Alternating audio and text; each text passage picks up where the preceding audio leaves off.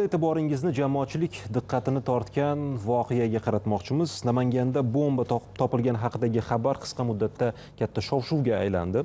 Batafsilroq to'xtaladigan bo'lsak, viloyatning Kosonsoy va Davlatobod tumanlari kesishgan joydagi yuksalish mahalla fuqarolar yig'inida joylashgan Kushon sanoat zonasi hududidan 6 ta aviatsion bomba topilgan. Hududda qurilish, obodonlashtirish ishlari olib borilishi vaqtida ishchi xodimlar bombaga duch kelishgan.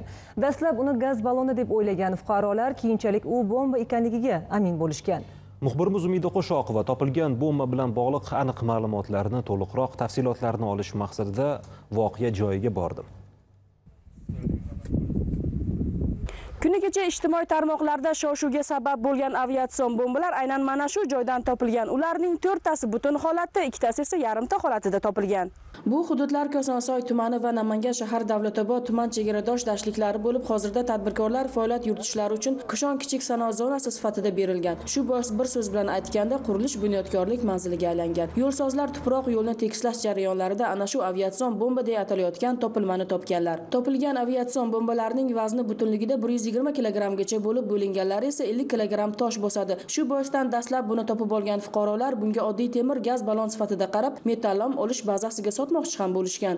tadbirkorlik ishlari bo'yicha davlat tomonidan berilgan joy bu yerga o'zlarimizni mana sexlarimizni qurayotgandek shu jarayonda mana o'rta yo'lni yo'l sohasi vakillari va shu bu yerda ekskavator ishlarini olib borishayotganda ekskavator xodim bizni chaqirdi chaqirganda kelib qarasak bitta metal buyum chiqib qolibdi u metal buyum biz ham aslida o'ylab uni gaz ballon deb o'yladik gaz ballon deb o'ylab keyin yaxshiroq e'tibor bersak u bombaga o'xshab tuyuldi endi biz ham xizmatda bo'lganmiz uni ko'rib bombaligiga amin bo'ldik Kosonsoylik 96 yoshli Mahmudjon ota Sulaymonov bir vaqtlar mana shu joylarda yigitlik payti o'tgan. Pastu balandidan xabardor. Otaxon bu yerda 1947-yillarda avia poligon bo'lganligini eslaydi. 47 yili bo'lganda edi poligon bo'lgan ekan shu yerda.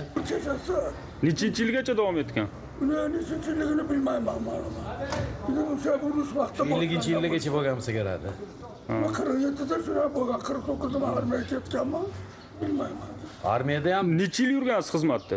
3 yilmi 5 yilmi yurgansiz to'rt yarim yil. 4,5 yil. To'rt yarim yil yurib kelganingizdaki bu bormidi yo? Yo'q edi yo'q. Edi u ham hech qanaqa hech kimga xavf tug'dirmagan o'sha paytda ham a yo'q 2021 yil 7 iyul kuni favqulodda vaziyatlar boshqarmasiga e, shu e, davlatobod tumaniga chegaradosh kosonsoy tumani e, tergach mahalla fuqarolar yig'ini kushon kichik sanoat zonasida ishlab chiqarish hududida aviatsion bombalar chiqqanligi haqida xabar kelib tushgan xabarga asosan favqulodda vaziyatlar boshqarmasi rahbariyati ichki ishlar vazir e, vazirligi huzuridagi maxsus otryad ichki ishlar boshqarmasi xodimlari hamda mudofaa vazirligini xodimlari kelib belgilangan tartibda transportga ortib namangan viloyati pop tumani hududidagi harbiy poligonga olib borib zararsizlantirish ishlari amalga oshirildi Hozirda bu yerdan bombalar Pop tumanidagi G'urumsaroy harbiy qism dala poligoniga olib ketilgan va ularning barchasi zararsizlantirilgan.